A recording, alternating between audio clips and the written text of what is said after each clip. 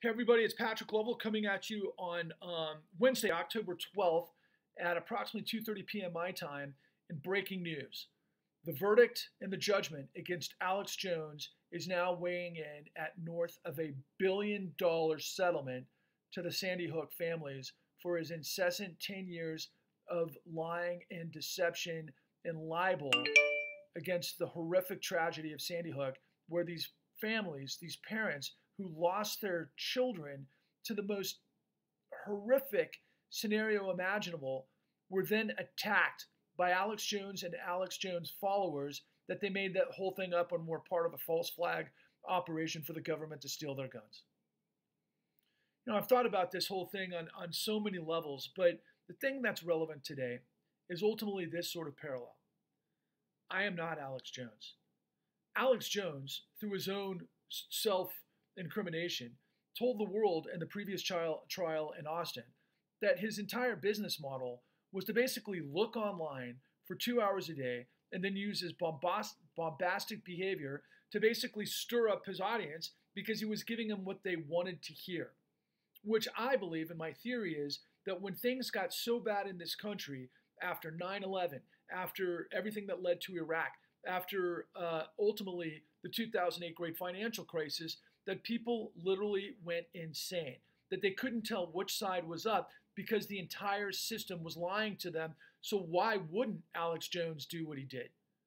Now, me, my way of doing things was I went deep and I did the investigations of which I put tens of thousands of hours into revealing the largest criminal conspiracy and cover up in history that never ended so that I could arrive at a point to tell you that Federal Reserve Act 13.3 was used illegally. And when you get to that point, you understand the emperor's new clothes. Now, ultimately, our project had to literally uh, elevate and uh, cross the T's and dot the I's uh, to get past three top legal firms to be able to make sure that we could distribute what we put into the con at www.thecon.tv because we didn't want to be held for libel. And we were, of course, trying to land on a major network, of which, unfortunately, they're all owned by the system that we reveal. But here's the scenario.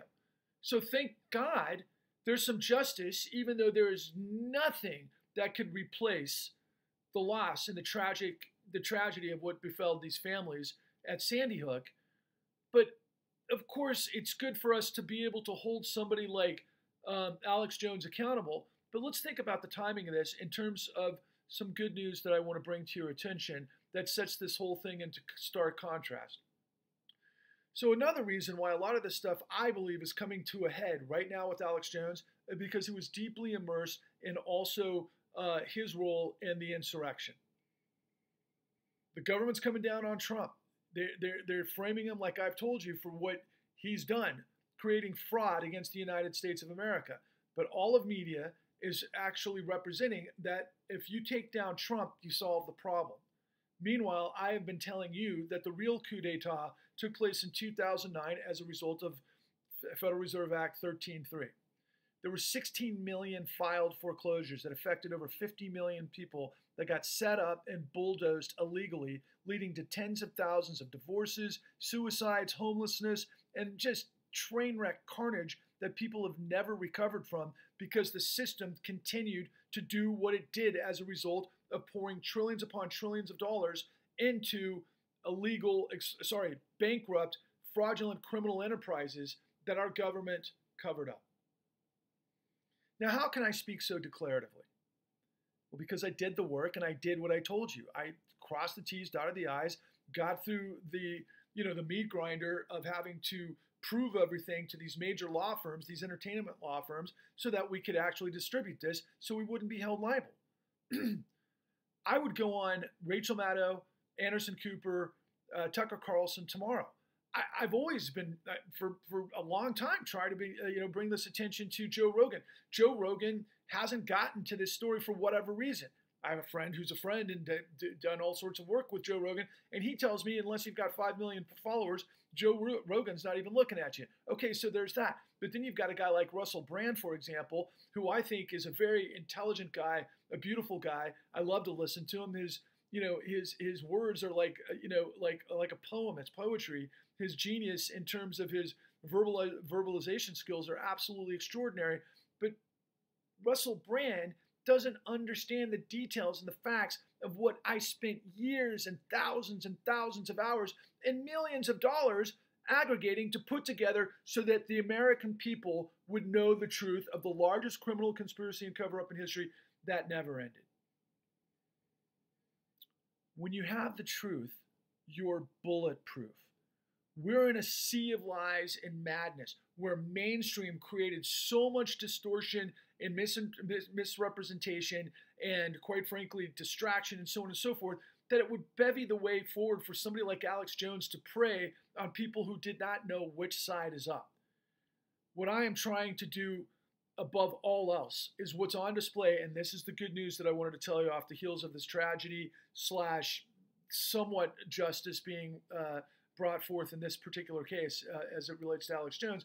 But ultimately, what we're doing at the Federal Reserve, we got approved for the permits to march at the Federal Reserve on 11 1 2022, which is the 10 year anniversary of quantitative easing, which Timothy Geithner told us, the former Treasury Secretary of the United States, that the American people were going to be foam on the runway for the crashing financial system.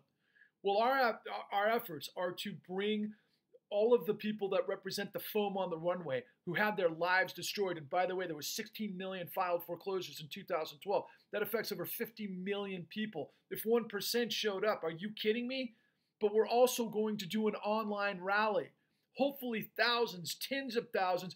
Tell everybody, spread the word. The truth is marching because this is the resurrection of the American dream that was buried by the deception of this evil empire in the financial system that thinks that it can destroy the credibility, the integrity of the United States and get away scot free. We are marching for justice, and failure is not an option. And unlike the insurrection, this resurrection is a peaceful protest, and I'll put this in stark contrast as well. We're not going to fly in millions of people from around the country like the freaking insurrection movement did because billionaires got a whole bunch of military guys and police guys so that they could go out to the insurrection in the Capitol with guns, you know, to create a violent insurrection using weapons. I think I just found out that a whole bunch of them were walking around with uh, AR-15s and so forth, which certainly doesn't surprise me.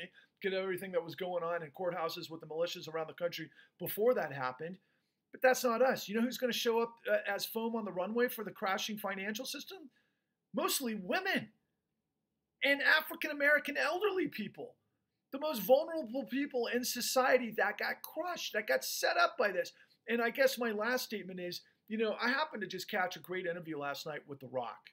You know, The Rock, eh, they, they continue to ask him if he's going to run for president. Honestly, given the whole scope and how things work, I would vote for The Rock in a second. The guy's a great guy. He's a great human being. Does he have any experience in uh, politics? No, but is he a good human being and a strong human being and somebody who would probably make the right choices because he's just that kind of guy? I think he would. But he's got this new uh, superhero film out called Black Adam, which he talked about last night as you know this new superhero character that's built into the revelations of like what hundreds of years of slavery and a projection of that in a fictional way. But his mind is in the right place. His heart's in the right place. Have you ever seen uh, Dwayne the Rock Johnson's father?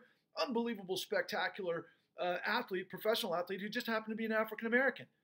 Had the biggest biceps I've ever seen in my life. I, I think they're even bigger than The Rock's.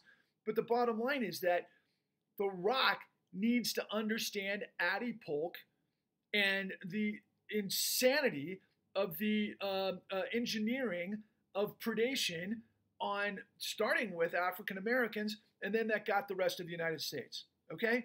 and that then ultimately, once it bulldozed everybody, gave trillions of dollars to the guys who did it. Think about that in terms of a theme for a film. Do you think The Rock might want to know this stuff? So please, spread it high and low. Spread it everywhere you can. This has got to seep through the system that is trying to, uh, you know, cancel this information.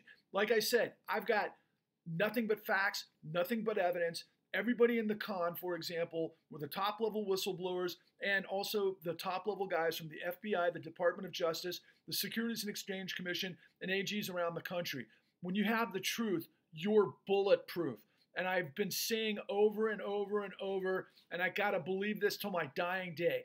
The truth has got to have more value than the sea of lies that have overwhelmed this country's ability to manage it. The people, we the people, have got to march for a resurrection of the American dream. Onwards and upwards.